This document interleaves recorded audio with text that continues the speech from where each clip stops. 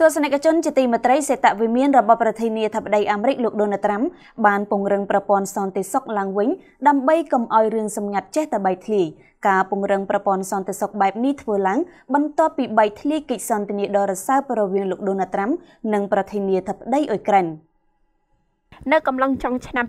2018សេតវិមានរបស់លោកដូណាល់ត្រាំបានពង្រឹងសន្តិសុខប្រព័ន្ធលេខកូដសម្ងាត់ដ៏កំពូលរបស់ខ្លួន ដែលត្រូវបានគេស្គាល់ថា NSCICE គឺបរិស្ថាននៃកិច្ចសហការរក្សាការសម្ងាត់របស់ទីប្រឹក្សាសន្តិសុខដើម្បីការពារកុំឲ្យមានការបែកធ្លាយកិច្ចសន្ទនារបស់ប្រធានាធិបតីអាមេរិកជាមួយនឹងបណ្ដាមេដឹកនាំពិភពលោកដទៃទៀតនេះបើតាមការចេញផ្សាយដោយ Politico នាព្រឹកថ្ងៃពុធទី2ខែតុលាឆ្នាំ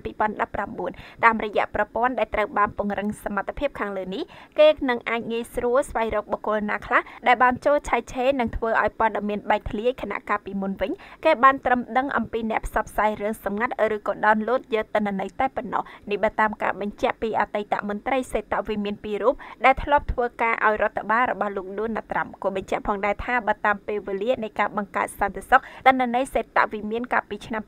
2018និងការបែកធ្លាយកិច្ចសន្ទនាដ៏រស័ព្ទរវាងលោកដូណាត្រាំនិងប្រធានាធិបតីអ៊ុយក្រែនគឺបានកើតឡើងមុននិងក្រោយគ្នាមួយឆ្នាំប៉ុណ្ណោះប៉ុន្តែលោកដូណាល់ត្រាំកំពុងប្រឈមមុខនឹងការរៀបចំនីតិវិធីដែលចាប់ប្រកាន់លោកថាបានប្រព្រឹត្តខុសវិន័យជាប្រធានាធិបតីតាមរយៈការស្នើសុំឲ្យមេដឹកនាំអ៊ុយក្រែនឲ្យធ្វើរឿងមួយចំនួនឲ្យលោកហើយគណៈបកប្រជាធិបតេយ្យដែលកំពុងតែគ្រប់គ្រងសភាក៏កំពុងតែស្វាស្វែងយ៉ាងខ្លាំងក្នុងការរៀបចំនីតិវិធីទម្លាក់លោកត្រាំចេញពីតំណែងផងដែរ។